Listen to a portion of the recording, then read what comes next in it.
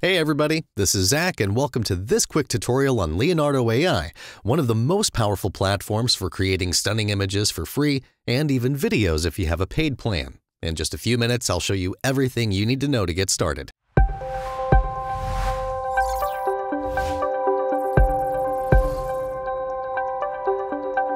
Leonardo AI is a web-based platform packed with AI-powered tools to generate and edit images completely for free or even create videos if you own a paid plan. Launch the application and enter into the home page after signing in. Here you get several guides, and you can browse through the creations made by the community. On the left side, you'll find the list of all available tools in Leonardo AI we will see. Let's start by generating an image. Go to Image from the left menu or at the top of the page. This opens the Generation page, where you can create images starting from a prompt at the top. Type a prompt and click Generate to launch the AI. The generated images appear listed right at the bottom.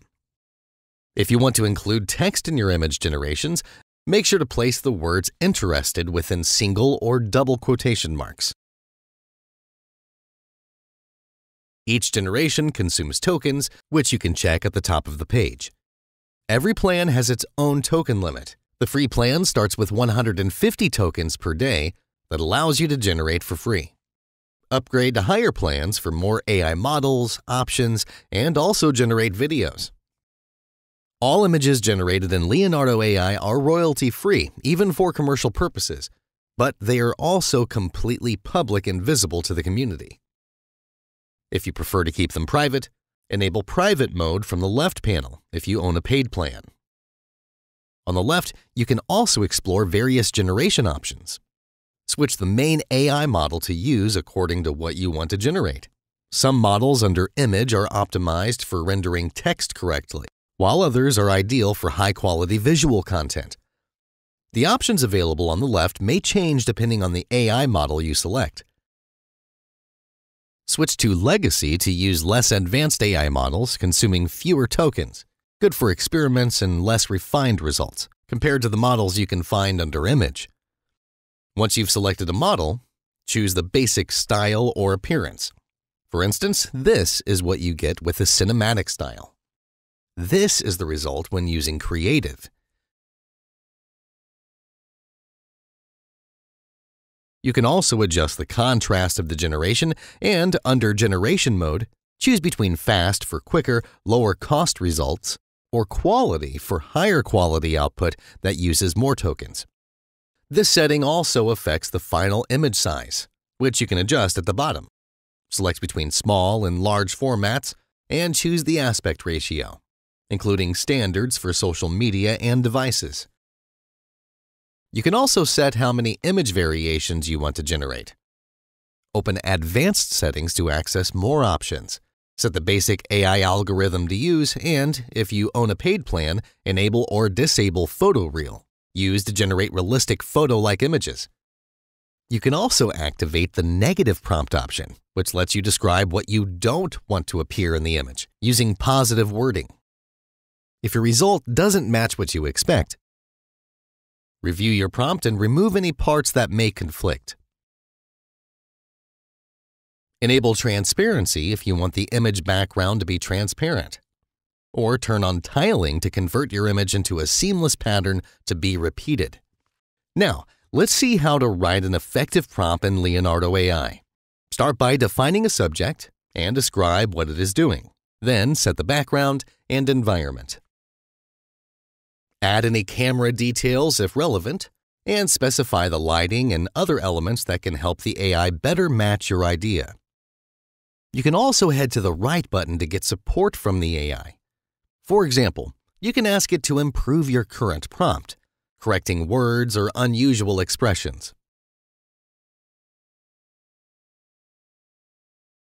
You can also ask the AI to edit your prompt directly. This is very useful if you want to update your prompt to modify a scene from afternoon to night, switch the subject, or change color or details like hairstyle. You can also ask for a random prompt to get fresh ideas and start from something completely new. You can also use Describe with AI to upload an image you already have so the AI can analyze it and extract a prompt from it. This is useful to generate new images that are visually similar to the one you have or get consistent characters across multiple generations. Now, let's suppose to have generated an image of a sports car. On the left side, you get a small button with other useful tools. Under Elements, adjust the image style and appearance without editing the prompt or the model. Let's apply a futurism element and regulate the strength slider to set how strongly the filter is applied. Avoid using extreme low or high values for the best result. With image guidance, you can attach a reference image to guide the AI to take inspiration from it in different ways, such as taking its subject, style, or overall appearance. This works best if reference image and prompt are sufficiently aligned. Select Image to Image to take one image as a complete reference, including its subject, environment, lighting, and camera style. In this case, the strength level sets how closely the result matches the reference. Lower values give the AI more creative freedom and editing permissions, while higher values make the result closer to the reference. Choose Style Reference if you want to take inspiration only from an image's visual style and colors without copying its subject. In this example, the generation takes only the dominating blue color, leaving the original sports car as subject. Alternatively, use content reference or character reference to maintain the main subject or character, changing environment, lighting, or camera. Let's choose character reference and upload the image of a man we have previously generated. And update the prompt, such as describing the same subject, but in another environment or moment. The generation shows a consistent character with the same appearance and clothing, but in a completely different environment with different camera angle and so on. There are many other features with variations you can try, so take some time to explore them. All generated images appear at the bottom. Click on any of them to preview and check complete details such as the prompt used, the AI model selected, and all options applied. You can download it in JPG format or share it online through a link. Go to Remix to create a variation or remix of the image. This copies the original prompt, ready to relaunch. Remove any attached reference and launch the prompt as it is or edit any detail with AI, for example, to change the color of the sports car.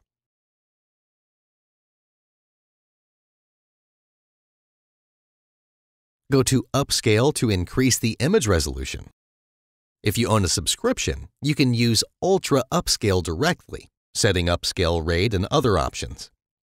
If you own a free plan, Go back to the home page and open Universal Upscaler. Here, upload the image you want and set the same options as before, selecting Legacy instead of Ultra. As you launch with Upscale, you can check the result in the preview by hovering over it with your cursor. You can also use the image as guidance, or turn it into a video, which we'll explore shortly. Switch to flow state if you want to get inspiration and new ideas with AI. Just type a general concept at the top and enhance it with AI as seen before. As you click on Generate, the flow starts, automatically generating images, one per token, as long as you keep scrolling the page. You can also adjust several options on the left. However, the randomize option is suggested to explore different styles and looks. These generated images stay available as long as the flow state page remains open. So if you find any you want to keep, make sure to click Save to Library before leaving the page. Click on any image to preview it. From the three-dot menu, you can remove its background, describe it with AI to create similar variations, use it as image guidance, or turn it into a video as we'll see next. Each of these options will make you exit the flow state page, so make sure you've saved all your images first. All saved images are available from the home page under the Library section. With Leonardo AI, you can also create videos if you own a paid plan. From the home page, go to Video on top, or select Video under AI Tools on the left. On the left, you have several options, including the AI model to use. At the top, type your prompt describing what you want to generate, then click Generate.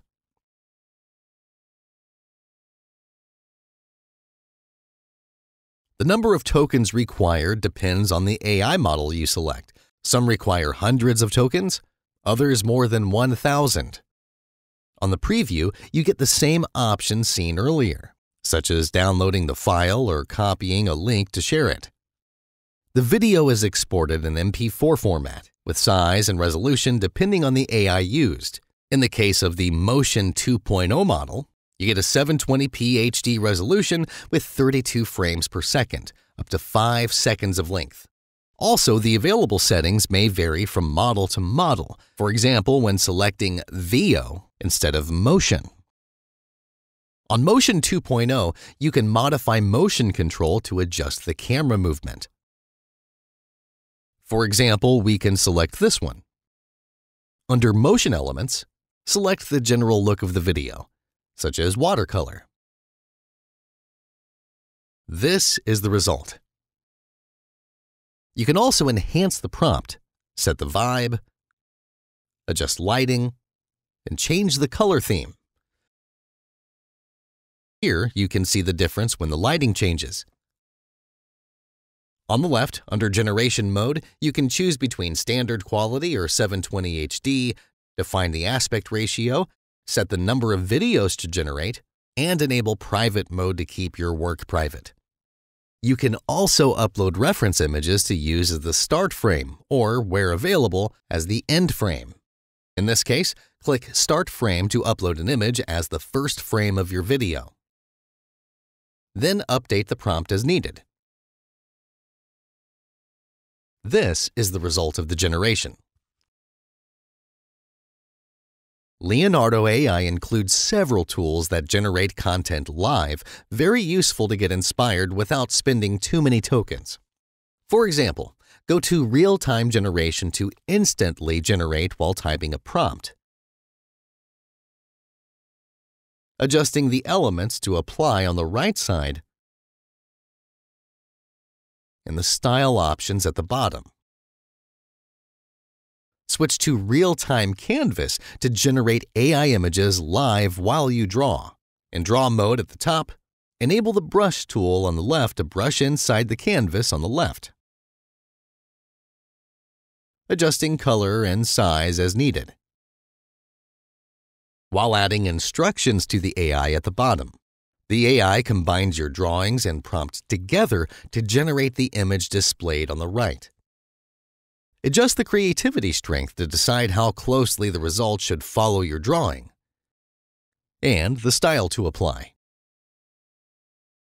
You can also reference images to your canvas by going to Add Image on the left, or head to Generate to create an image within the pink box on the left canvas to further guide the result. If you like the output shown on the right, click Output to Input to move it to the left canvas and continue editing from there. Switch to InPaint to make targeted corrections on the image while keeping its style, subject, and background consistent.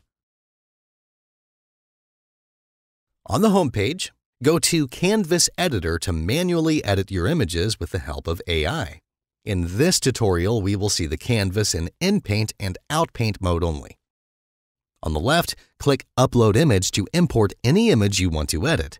For example, one of your generated images.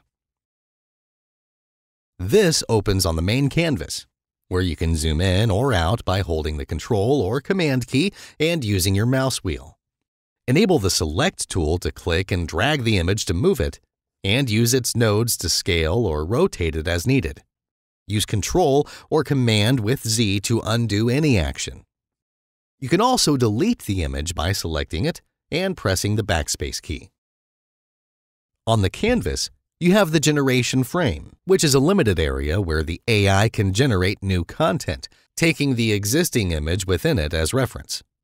You can click on its borders to select it and move it where you want on the image.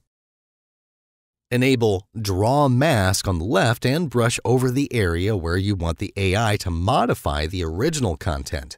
The AI will not edit what is outside the masked area and will not generate outside the frame, so don't worry if the mask slightly extends outside of it. At the bottom, type a prompt to guide the AI for generation and hit Generate. Choose among several variations. Some may not fit well, some others may be approved with Accept.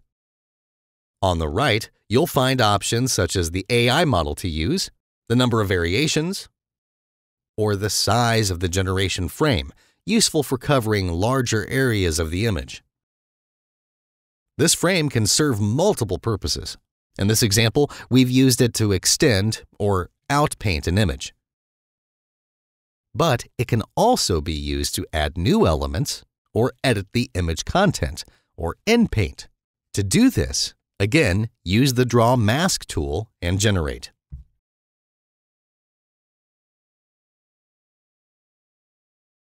If the results are not satisfactory, you can use the Sketch tool to brush on the image and further guide the AI with your drawings. Pay attention that this sketch is permanent. Enable the Erase tool to remove details you no longer need. This permanently deletes pixels from the image that will be filled with the next generation of the AI.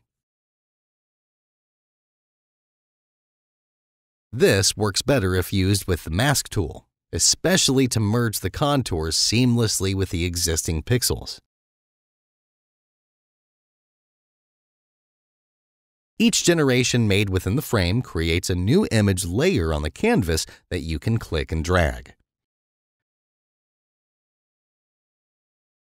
To save your work, go to Download Artwork on the left. This exports the entire content of the canvas made of all the image layers, leaving transparent areas wherever no pixels exist. So, make sure to fill empty zones properly before exporting it as your final image. Thank you guys so much for watching. Be sure to check out our YouTube channel and official website for more tutorials on artificial intelligence and other tools that you can start using right now, completely free.